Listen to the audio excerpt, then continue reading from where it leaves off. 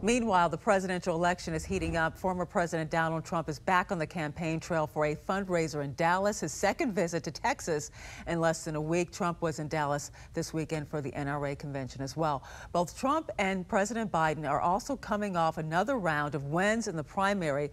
Both easily won yesterday in Kentucky, and both ran into some backlash in Oregon. About 11% of Democrats and 8% of Republicans there cast protest votes. But Biden may be feeling the pressure more than Trump. The president's approval rating has fallen to its lowest level in nearly two years. A Reuters Ipsos poll says just 36% of Americans approve of his job performance. Now that's down from 38% in April. The economy was seen as the top issue.